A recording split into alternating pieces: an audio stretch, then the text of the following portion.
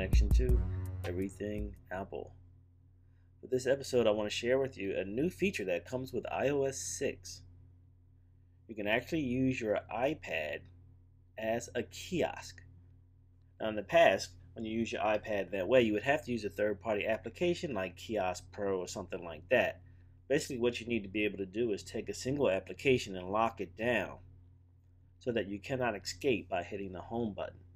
Well, to my surprise, and I discovered this totally by accident, that this feature is now built into iOS 6 when using both the iPad and iPhone. So again, essentially what you can do is open any application and lock that application down so you cannot escape from it until you enter a passcode. So I'm going to show you how that's set up. First you want to do is go into System Preferences and you want to scroll down to Accessibility. When you, when you choose Accessibility, you want to scroll down to Guided Access. And if if guided access is off, you want to turn it on. Then go ahead and set a passcode.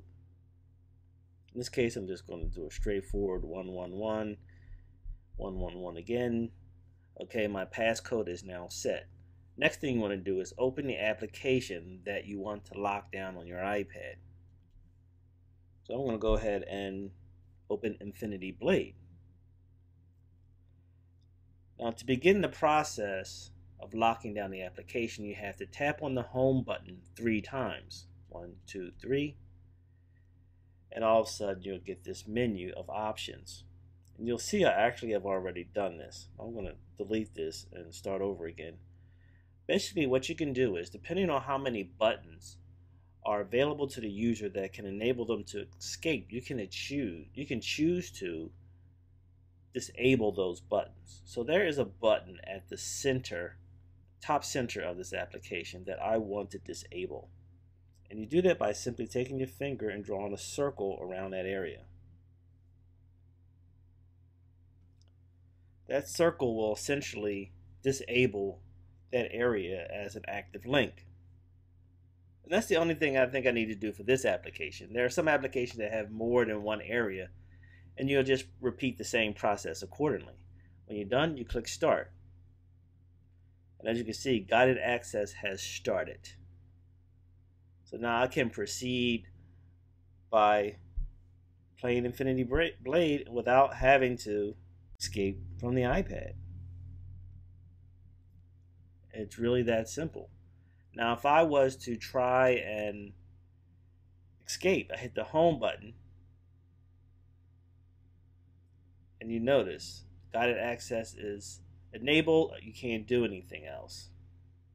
Try it again.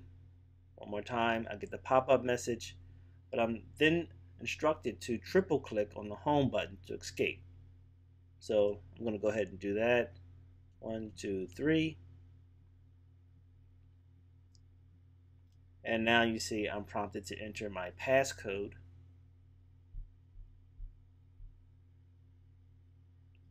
And now I could either resume or end my session. So in this case, I'm going to end it. Guided access has ended, and now I can use the home button to escape. It's really that simple. It's a cool feature that's now that now comes with iOS 6. I hope that was a nice feature that was worth sharing with you today. Thanks for tuning in to my Apple Podcast. My name is Tim. Check me out next time.